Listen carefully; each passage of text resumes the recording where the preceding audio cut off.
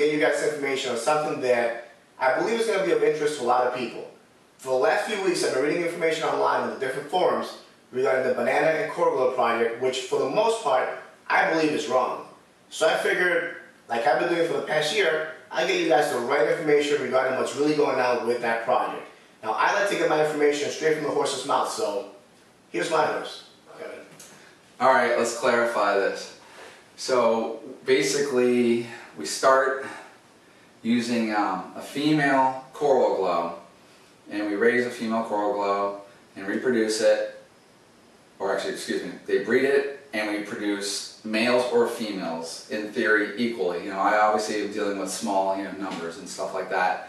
So, but it, it appears that a, a coral glow female can make just normal ratio of male female babies. So you get a female, you can make males, you can make females. Absolutely. No surprise if you get a bunch of males or a bunch of females, it's normal. I, I don't believe so. Okay. So then, if you take one of those resulting males and you raise that up and you breed it, when I started breeding a male to, you know, whatever females, I started hatching like female babies. So I'm like, oh my god, I just got this terrible luck. So it's female, female, and I was kind of quietly just like, I can't believe, you know, I, I keep whiffing. I really want to make a male. You know, male was super critical. So that season, I make no male whatsoever. Okay. The following year, um, and I think it was getting to the amount where of babies I was hatching that, hey, this is maybe not such so much bad luck. It's something else. So the following year,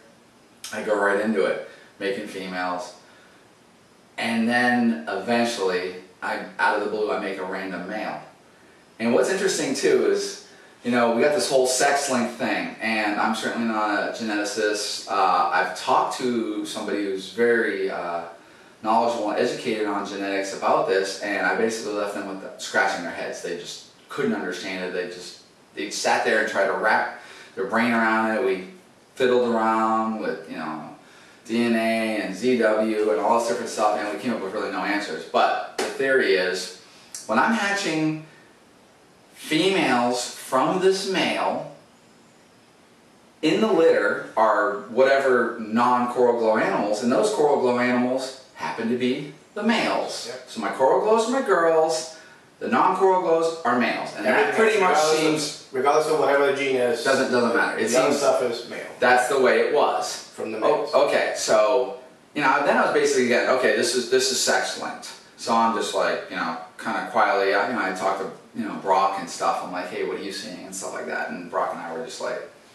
you know, maybe it's sex linked and stuff. You don't want to just blurt this stuff out because sex linked in a ball python or sex sex linked in a snake is like basically unheard of, and we're certainly not experienced with that. So, anyways, so then you produce these females, and then randomly here and there you make a male. Those are what I, I, I refer to those as Gen 2 males. So that people Yeah, okay, so we'll call it Gen 2 male. So all of a sudden there's a male, and you're just like in shock. It's like, I got these females or, or whatever, and then suddenly there's this male.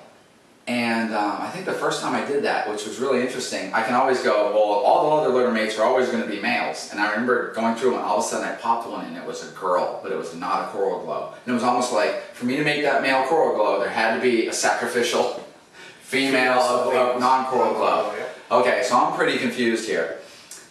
Then I was uh, trying to you know do coral glow to coral glow, and I, I hatched out one of these males here, and I thought, oh, that's because of the female, and it was really really pretty, but I didn't really you know, I didn't fully realize that this was one of those rare males. So you know we made a couple males. Well, ultimately now we've taken that Gen two male and we've raised up that, and now we've bred that to whatever, and suddenly we're hatching males. So that Gen 2 male breeding a normal female, resulting babies, I can make visual coral glows and normals, and the visual coral glows are generally males. They're not always males, but you are making males. Suddenly, all of a sudden, it's like, oh my god, I just made a male. Like the males are like the holy grail. I mean, literally, anybody who wants to think, you know, oh, you know, you've just been saying, it, it, it's not like that at all. Much to my uh, chagrin and it's just it, it's not like that. There's not you know all these males and stuff like that. So this year you know we we've made some males, um, and So what you're saying is the Gen 2 male, the male that's born from that rare once in who knows how many male that comes out of Gen 2, when you breed that one again,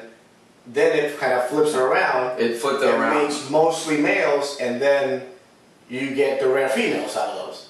yeah, what's the female gonna do? We don't. We don't know. So it's really there's no. This is just this is just straight as it is. I don't understand the genes. Uh, obviously, this is a new realm for, for snake genetics and stuff like that. I don't know about sex linking and stuff and, and the flipping and talking geneticists. And they were like, they really start getting far fetched. Like maybe if there's like a trade off or some like maybe something like magic happens or whatever it is. I don't know. I can't answer it. But the reality is, a normal coral glow female can make what I believe both males and females. The resulting male generally makes females. On occasion, it makes a male.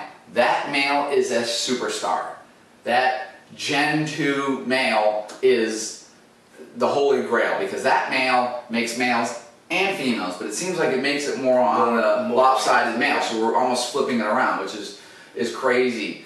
So we have two different levels of males. We have F1 male or Gen 1 male from a Coral Glow female that makes girls. We have a Gen 2 which predominantly makes males, and then they can throw a little incidental Oh, opposite sex. Now, so the offspring of a Gen 2, which are you know males and, and females, It'd be great if those males could do 50-50 then. it, it, it could i don't we don't know obviously we're not we're not that, that far so this is pretty much where we've gotten with the coral glow project um, certainly with uh, brock and on the banana stuff i think we're going to find a parallel and whatever. So i think we're, we're dealing with the same kind of genes. Coral glow bananas are, are synonymous. Uh, you know maybe different origin maybe a little different look. I'm not even going to play any of that game. Whatever. It's uh, they're they're all wonderful. To me they're absolutely the pinnacle of all ball python mutations because hands down a straight up coral glow is the most remarkable snake that i've ever seen. They're just utterly amazing um, and the different coral glow combos we're making are, are just they're really they're stellar so That's the information right now on Coral Glows as far as we know as of right now. Thanks for watching, guys.